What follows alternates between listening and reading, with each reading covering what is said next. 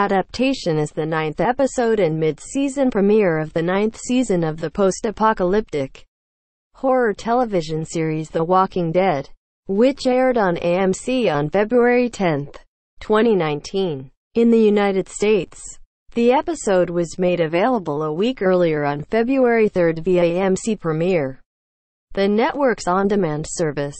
Subscribe our channel for more such informative short video.